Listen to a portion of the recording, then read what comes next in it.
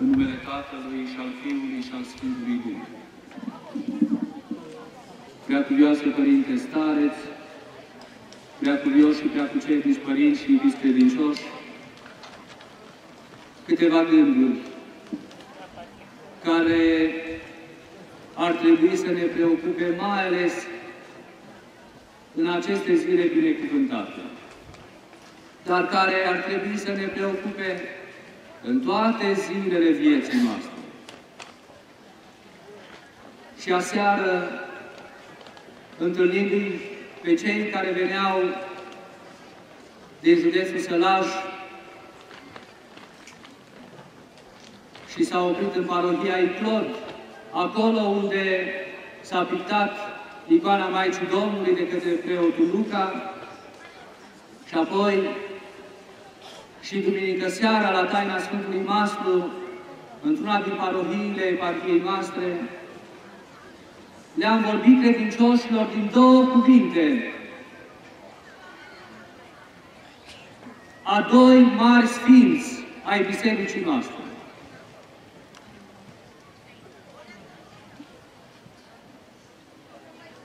Cuvinte pe care vreau să vi le pun la suflet în această zi și la care aș dori să meditați adânc.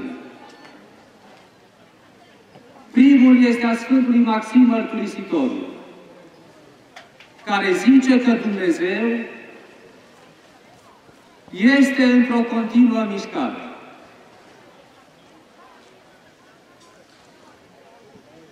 Acest lucru, dragii mei, trebuie să ne preocupe pentru că Dumnezeu ne-a creat asemenea Lui. Chip și asemănare. Noi suntem creați după chipul lui Dumnezeu și asemănarea ne-a fost lăsată ca și scop. Asemănarea înseamnă o continuă devenire, o continuă dinamică, o continuă mișcare.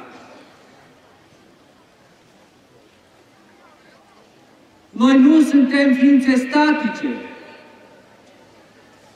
Noi sunt, suntem oameni care am fost făcuți de Dumnezeu, asemănarea Lui și trebuie să fim într-o continuă devenire. Trupul nostru fizic, dacă vreți, și El este într-o continuă devenire, cu atât mai mult sufletul care este chipul lui Dumnezeu sătit în ființa omenească. Însă, cum putem noi ști? Cum putem noi înțelege acest adevăr? Că Dumnezeu este într-o continuă mișcare și că noi trebuie să, să fim într-o continuă devenire. Ne învață un alt mare sfânt și anume Sfântul Simeon, noul teolog, care spune că omul duhovnicesc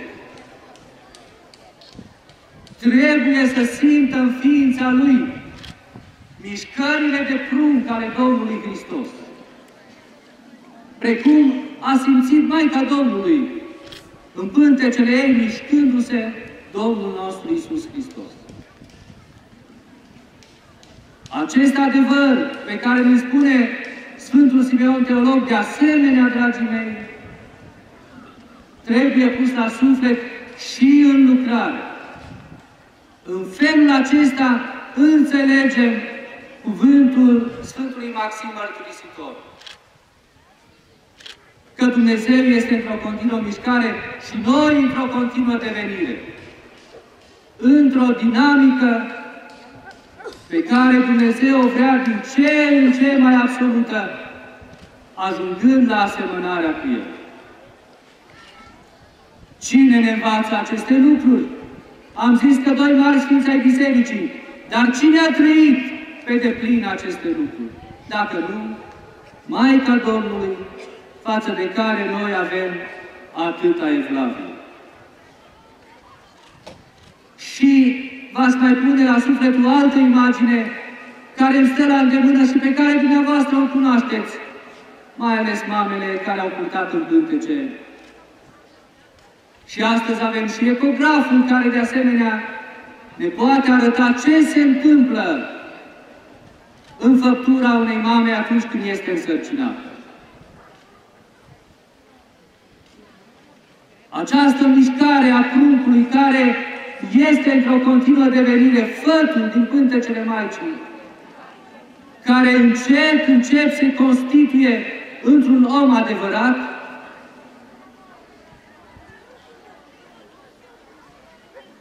mama îl simte în pântecele ei. Îl simte mișcând.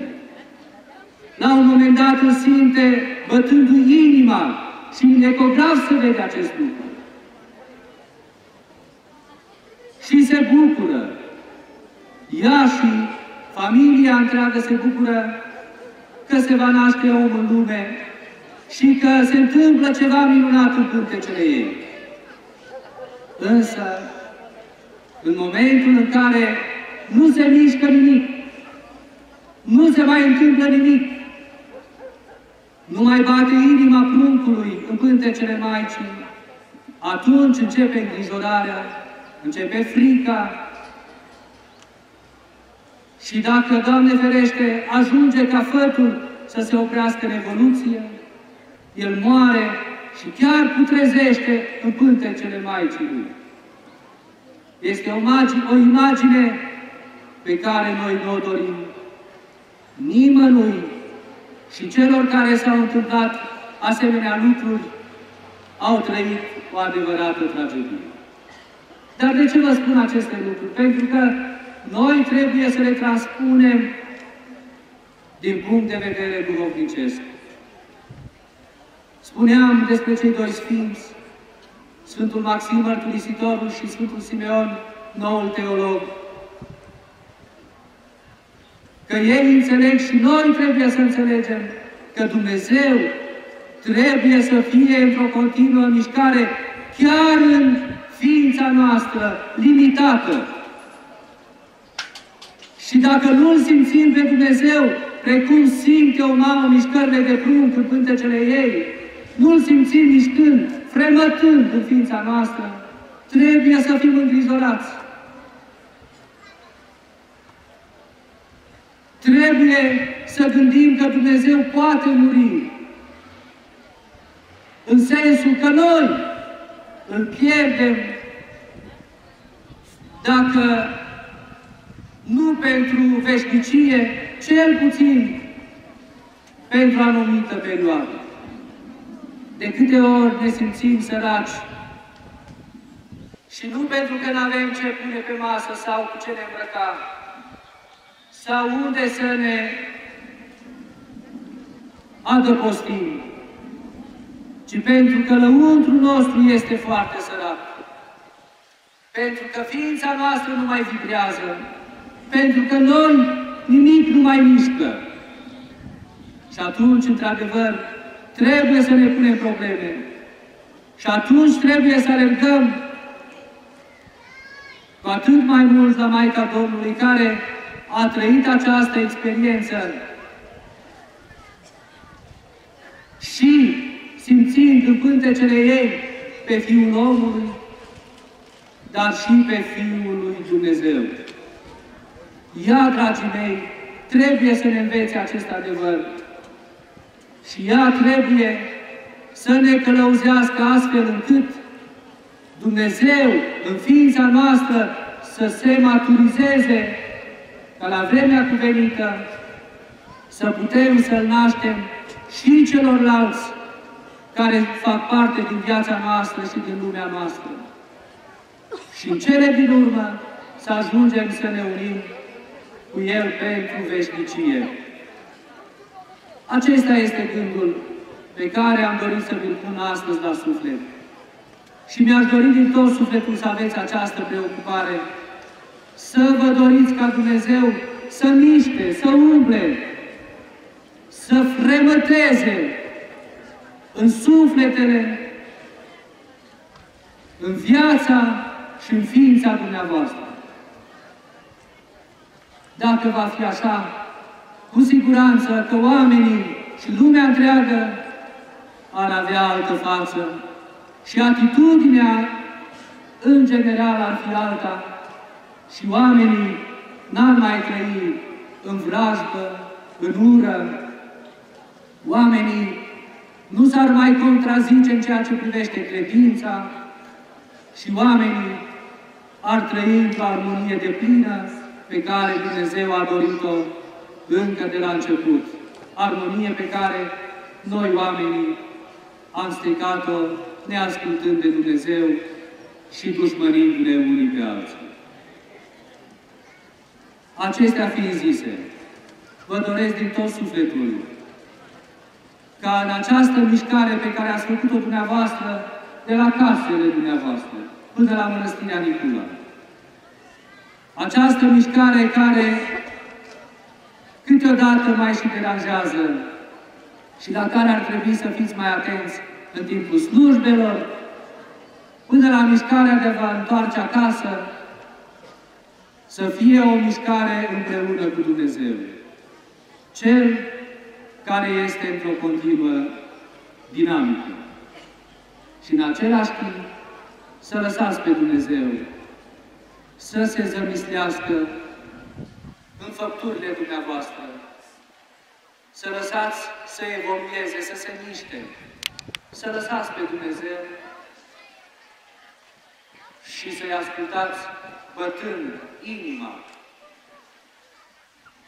la un unison cu inima dumneavoastră, acum și pururea și în vecii vecilor. Amin. Mările Tatălui și Fiului și Sfântului Duh. Amin.